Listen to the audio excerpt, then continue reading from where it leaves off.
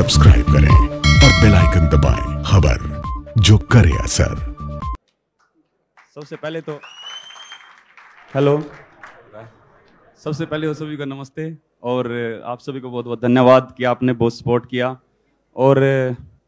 मैं सबसे पहले तो ये दिखाना चाहूँगा गोल्ड मेडल ये मेरा नहीं पूरे इंडिया का है। और मैं उस दिन से ही अपनी जेब में लेके घूम रहा हूँ मेडल को।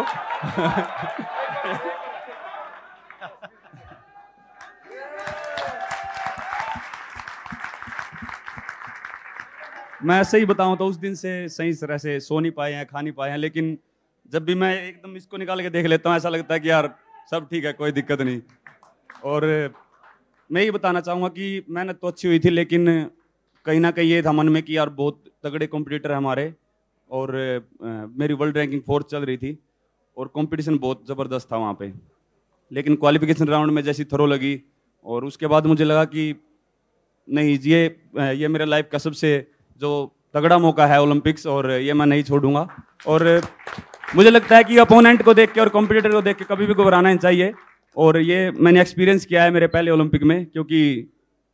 इतना अच्छा कंपटीशन होने के बावजूद भी और इतने अच्छे एथलीट होने के बावजूद भी हमने गोल्ड जीता है। तो मुझे लगता है कि बस अपना हंड्रेड परसेंट दो और किसी से घबराओ मत।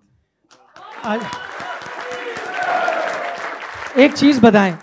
वो जो आपने दूसरा थ्रो फेंका है और उसके बाद जो सेलिब्रेशन करी है पता था आपको ये बेस्ट गया है थ्रो बिल्कुल जी वो जो शरीर का एफर्ट लगता है तो पता लग जाता है कि हाँ ये थ्रो कुछ अलग है और मुझे लगा था कि ये मेरा पर्सनल बेस्ट थ्रो है लेकिन वो थोड़ा उससे कम था और बस वो फील हो जाता है और फिर उसके बाद जो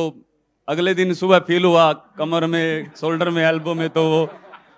पर वही है कि अपने पास मेडल है तो ऐसा लगता है कि कोई बात नहीं चाहे इंजरी हो जाती तो उसको भी देख लेते। अच्छा आखिरी में आपके जो लंबे बाल थे that man was very famous यहाँ आते आते मेरे को दो तीन शैम्पू वालों के फ़ोन आ गए हैं जेल वालों के फ़ोन आ गए हैं कि नीरज के वो लंबे होंगे everyone wants you as a brand ambassador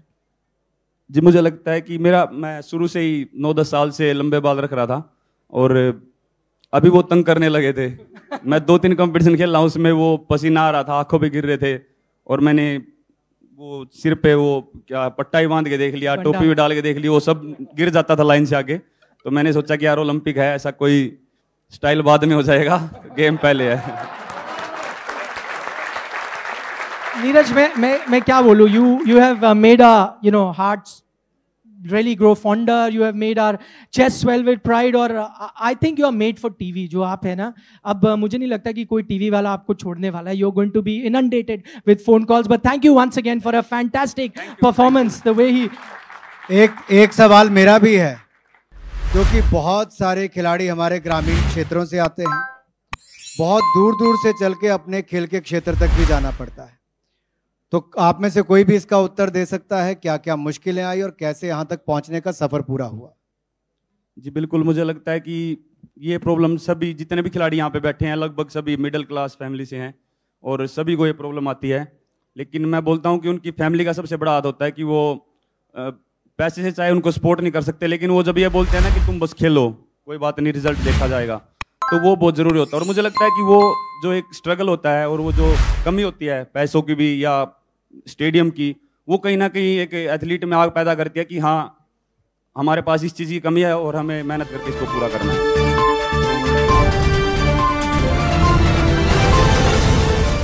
global today YouTube के साथ लाता है देश विदेश की ताज़ा खबरें और नए नए वीडियोस। हमें सब्सक्राइब करें और ताज़ा खबरों के लिए बेल बटन दबाएँ। Global Today